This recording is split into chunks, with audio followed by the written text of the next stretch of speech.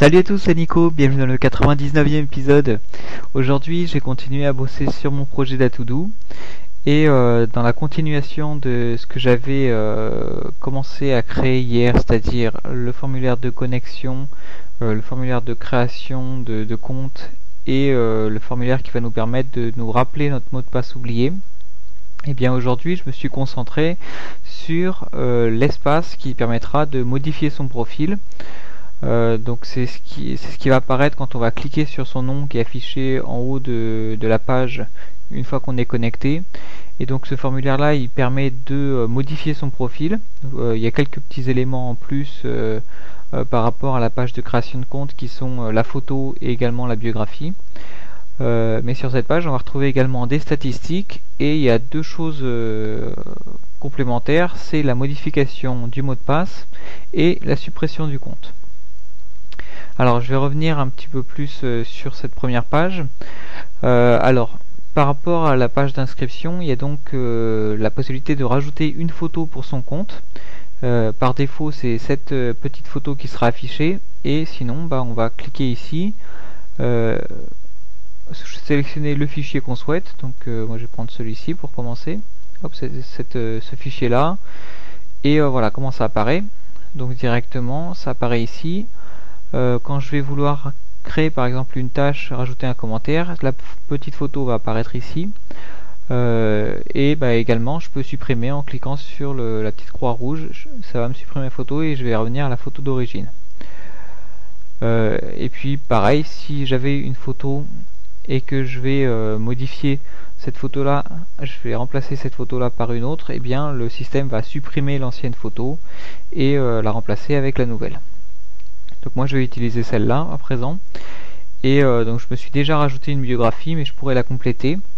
Et euh, également comme euh, ce qu'on peut faire sur Twitter, j'ai décidé qu'on pourrait changer son nom d'utilisateur, son nom complet, sa biographie et même son adresse mail. En fait on peut modifier tous les éléments de, de son compte pour décider de, de, par exemple changer le nom d'utilisateur qu'on ne m'adresse plus à des tâches avec le Nico, mais euh, par exemple avec euh, Nicolas Thomas. Ça peut permettre euh, d'éviter des ambiguïtés sur, sur des projets, par exemple dans une petite entreprise avec deux personnes qui ont le même prénom, ça va permettre de, de un petit peu préciser les choses. Donc là je clique sur modifier mon profil et voilà tout a été mis à jour. Hop, ça se, ça se met à jour ici, ça se met à jour ici, voilà. Voilà comment ça se passe. Ensuite, euh, donc comme vous l'avez vu, il y a des statistiques sur le nombre de projets, nombre de projets actifs, donc c'est le nombre de projets euh, qui comportent des tâches qui n'ont pas encore été réalisées. Ensuite, le nombre de tâches que j'ai réalisées, le nombre de tâches que je dois euh, encore réaliser, qui seront en attente, et le nombre de relations. Le nombre de relations, c'est le nombre de personnes euh, qui euh, travaillent pour les mêmes projets que moi. Donc pour le moment, comme mon compte est nouveau, bah, j'ai zéro partout. Euh, mais si je retourne sur ma tâche et que je vais créer ma première tâche pour mon projet et à faire pour demain à 13h. Et bien maintenant, donc ma tâche a été ajoutée et je vais normalement la retrouver ici dans mes statistiques avec donc un projet, un projet actif et une tâche à réaliser.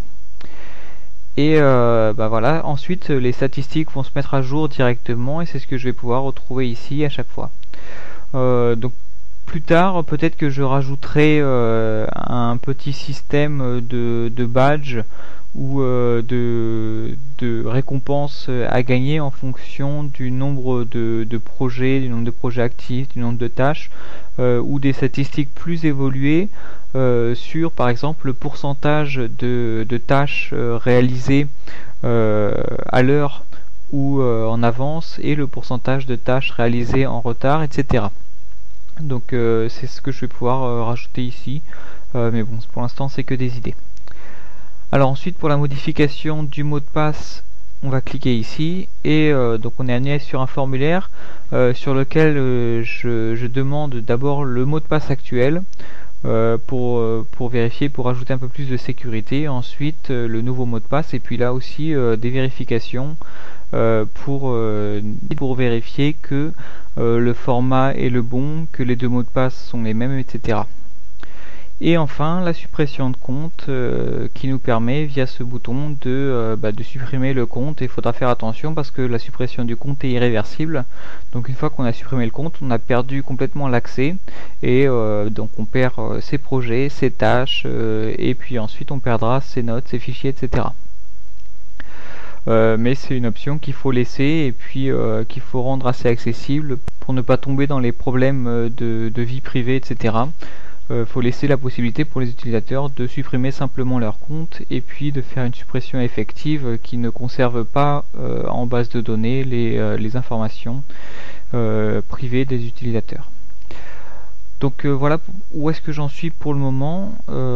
ça a avancé plutôt bien. J'ai enfin j'ai pu réutiliser des choses que j'avais déjà créées pour, pour d'autres projets.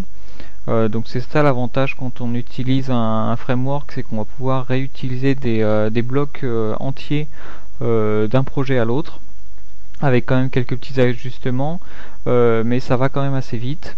Et c'est pour ça que j'ai pu créer tout ce système de gestion de membres entre hier et aujourd'hui. donc demain je vais m'attaquer à la messagerie, donc qui permettra d'envoyer des messages entre, euh, entre les membres, donc avec pareil une vérification euh, qu'on peut effectivement joindre la personne, donc qu'elle travaille sur un même projet que nous. Et également, cette messagerie va servir euh, d'inviter des personnes à rejoindre un projet pour lequel on est administrateur.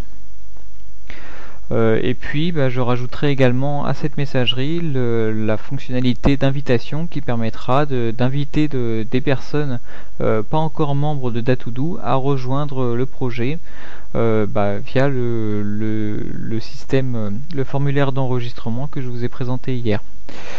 Donc voilà comment ça va continuer. Puis euh, donc euh, bah, demain c'est la centième, donc je ferai peut-être une vidéo un peu spéciale euh, où je parlerai de mon avancement parce que le, premier point d'avancement il commence à dater un peu. donc voilà, je verrai ce que je fais pour demain. Mais bah, je vous dis à demain. Salut